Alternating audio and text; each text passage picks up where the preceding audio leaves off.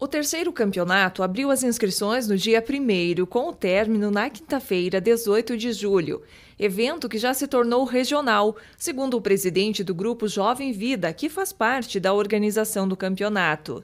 Primeiramente, é importante que os interessados acessem o site do Instituto Cultural de São Lourenço do Oeste para pegar o regulamento e, junto com o regulamento, tem a ficha de inscrição. Preenchendo essa ficha de inscrição, os interessados então encaminharão para o e-mail do grupo Jovem Vida, que é jovemvida.slo@gmail.com. De acordo com o regulamento, poderão se inscrever pessoas a partir dos 12 anos completos. Para os menores de 18 anos, a inscrição deverá ser acompanhada de autorização dos pais ou responsáveis, conforme o modelo disponibilizado. Esse evento ele foi criado já há dois anos, estamos então na terceira edição, é, justamente para oportunizar é, essa classe mais jovens, mais jovem, a ter um evento diferenciado na programação de aniversário de São Lourenço do Oeste. Então esse evento ele sempre acontece junto com essa programação. Até porque a gente vê que hoje é, é essa, essa classe mais jovem é, não gosta muito de ir a campo, mas gosta de fazer aí o seu futebolzinho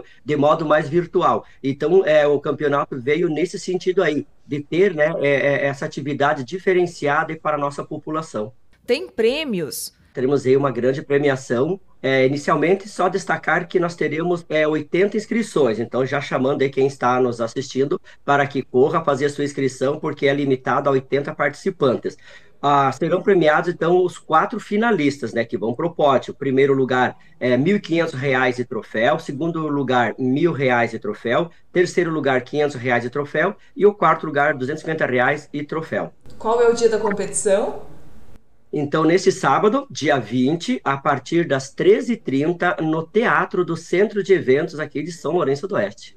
Mais informações pelos telefones 49 3344 8526 e 49 3344 8470. As inscrições são gratuitas. Como ele é um evento é, voltado para o público em geral, dentro da programação de aniversário de São Lourenço do Oeste, e, por o grupo Jovem Vida ser da comunidade, ser um clube social, as inscrições são gratuitas, apenas o participante, no momento é, do evento, aí no sábado, dia 20, deverá levar 2 quilos de alimentos não perecíveis, que serão transformados em cestas básicas para depois ser distribuídos para a nossa população mais carente.